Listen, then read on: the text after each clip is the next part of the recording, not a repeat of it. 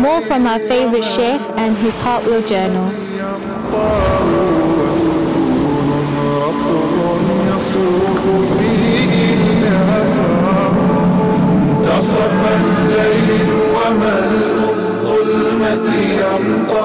Bismillah, alhamdulillah, wassalatu wassalamu ala rasulillah wa ala alihi wa sahbihi wa wala.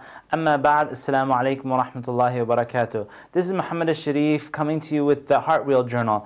Um, if you're just joining us, like we've been going every night uh, through the month of Ramadan, but if you're still joining us now, you can go to islamchannel.tv and if you haven't downloaded your Heart Wheel Journal, you can do so and follow along with us in these last nights of Ramadan, inshallah. In the Heart Wheel Journal, there's a section that speaks about modeling those who were successful. Modeling those who were successful. Each day it has a story of one of the companions of the Prophet and shows a before and after snapshot of who they were before Islam came to them and who they were and what Islam did for them and who they became and how they became known around the world. And so there's stories of Khadija radiallahu anha, there's stories of Abu Bakr radiallahu anhu, and Nu'man radiallahu anhu. There's so many of the companions of the Prophet sallallahu So I'd encourage you to go back, and just because we're on this day of the Heart Wheel Journal doesn't mean you can't go back to previous days. Go back and remind yourself of those stories so that with the more stories that you hear about the companions of the Prophet sallallahu the more you'll be encouraged to emulate what they did to be successful in this life so that you too can be successful with them and be with them on the day of resurrection, inshaAllah ta'ala. One of the first stories that Allah subhanahu wa ta'ala tells us about in the Quran in Surah Al-Baqarah is the story of Adam alayhi salam. It comes about the fifth page from the beginning of the Quran. Allah subhanahu wa ta'ala starts and tells us about the story of Adam. Now, the story of Adam alayhi salam is very important because it tells us our origin. It tells us where we come from. And the reason that that's important is because when a person, and, I, and I'll give you this example that, like in a Western culture, they might tell people that they come from apes, okay? This is the lie that goes around. We came from apes and we evolved from apes and there's no God and there's no. There's a reason why they'll say that because they'll say if we came from apes, then that means that everything is made up everything is a lie. We're just animals in the wild. And then as we evolve, then someone came and said, oh, there's a religion and you should follow laws and such and such. Right? Because they base it on that origin. Now, a believer realized that Allah subhanahu wa ta'ala created Adam alayhi salam and, they, and Adam and Hawa were in paradise and they came down because of um, the sin that happened of eating from the tree. Allah subhanahu wa ta'ala, they did tawbah to Allah. Allah accepted and uh, their tawbah their and, and forgave them, but Allah sent them down to the earth, that they would spend some years here on earth and then they would return back to Allah subhanahu wa ta'ala, those who would follow the guidance. Now, as the children, um, boys and girls of Adam and Hawa, we now have this guidance in front of us. We have this guidance in front of us, and the same applies to us that if we follow this guidance, that happiness and success in this life and the hereafter will be ours.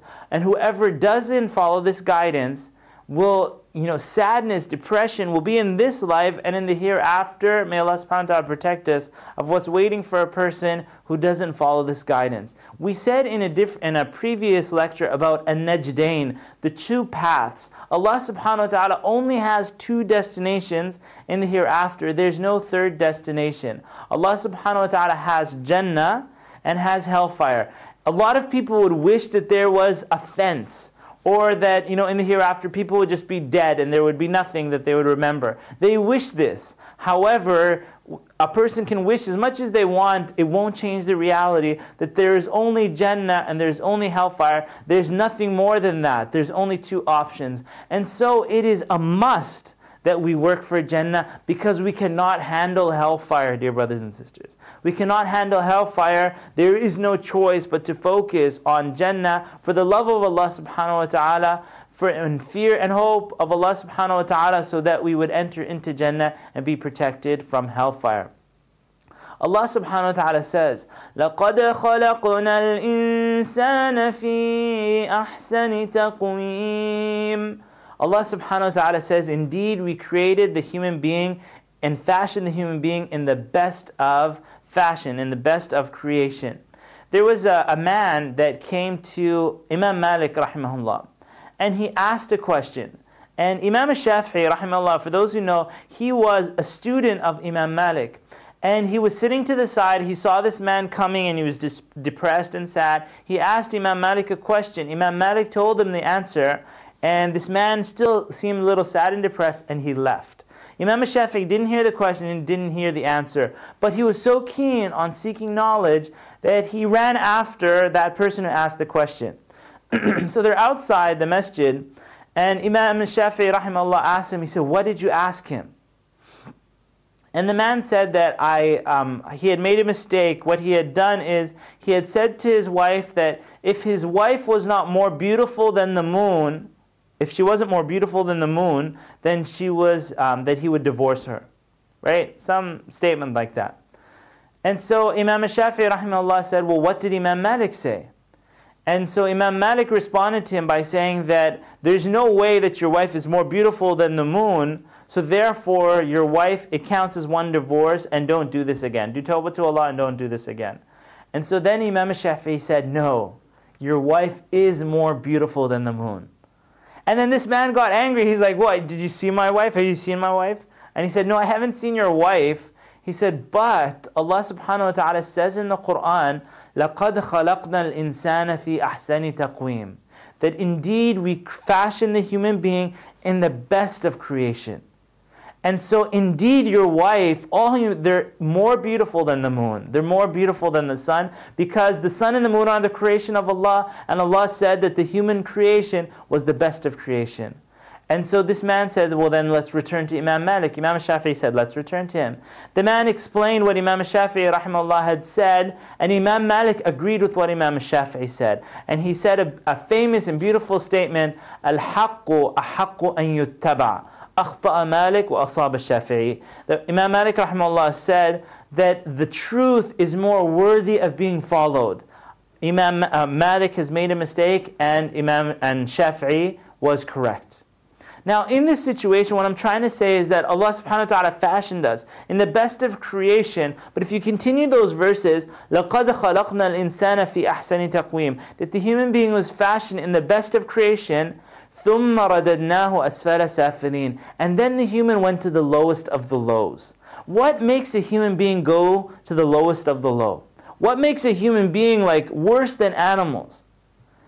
What makes them do that is their disobedience to Allah subhanahu wa ta'ala. Because, and I want you to compare this, a human being, Allah subhanahu wa ta'ala blessed them with a heart and blessed them with a mind and all these faculties and all this intelligence, and yet they may still disobey Allah subhanahu wa ta'ala even though they know. And now look at a, a simple animal. Allah subhanahu wa ta'ala says, وَإِن مِّن شَيْءٍ إِلَّا يُسَبِّحُ بِحَمْدِهِ That there's nothing except that which uh, that does tasbih of Allah it all these animals, they're not doing anything wrong. If you see a goat, if you see a sheep, are they doing are they disobeying Allah? And the answer is no. In fact, they are remembering Allah subhanahu wa ta'ala, their creation of Allah, and they're not doing anything wrong. Allah subhanahu wa ta'ala didn't hold them accountable for their actions, but the human being, if they don't use this mind to come closer to Allah subhanahu wa ta'ala, they will go to the lowest of the lows. In Surah Al-Asr, Allah subhanahu wa ta'ala says, Wal Asr, Innal Insana lafi khusr khusr. By time, indeed man is at a loss. By time, Allah subhanahu wa ta'ala is testifying by the time that the human being is at a loss. Except those who believe and do righteous deeds. Now imagine, I, I was once uh, traveling in Pakistan and uh, I was in Multan, some of you might be from Multan, and I noticed that they used to sell ice off of uh, trucks. They sell ice to people off of trucks you know, might fall on the ground. They pick up the ice and they give it and they like smash up the ice and so on and so forth. Imagine the situation of an ice seller, someone who sells ice. In the olden days, they didn't have refrigerators, so they would, you know, they might bring the, this ice and they only have a certain amount of time before the ice melts, before it brings, before the person brings this ice to the people. Now, this person cannot waste his time because the more time he wastes, the more the ice melts, and then his biggest asset, this ice, will be gone. And so, as soon as the day starts, as soon as he leaves the plant that makes the ice, he's, the clock is ticking, and he must, he must sell his ice before the day comes to an end or before the time passes. The, the sooner he works, the more profit he'll make. And so uh, one of the scholars was seeing this, and then he said, Then I understood what Surah Al Asr meant. وَالْعَصْرِ إِنَّ الْإِنسَانَ لَفِي خُسْرٍ That indeed the human being is at a loss. You've got to start selling your ice early in your life because the time is just going to slip by. And here in Ramadan, just yesterday, we were, it was the beginning of Ramadan. We welcome you. Here's the Heart Wheel Journal. Please download it etc., etc. And now we're coming into the last 10 nights of Ramadan. We're finishing off Ramadan. The time went so quickly, and this is a reminder for all of us that our life will go this quickly. In a snap, in a blink, and our life is over. And so it's the actions we do today, focusing on our ibadah to Allah subhanahu wa ta'ala, measuring and focusing in so that our ibadah can improve, so that Allah subhanahu wa ta'ala may be pleased with us. إِلَّا الَّذِينَ آمَنُوا وَعَمِلُوا الصَّالِحَاتِ Except those who believe and do righteous deeds. جَزَاكُمُ اللَّهُ خَيْرًا this is Muhammad AlShareef with the Heart Wheel Journal. Again, if you haven't downloaded it, we're coming to the last 10 days, but you're still welcome to download it and still benefit from it, even after Ramadan, inshaAllah ta'ala. Wassalamu alaikum wa rahmatullahi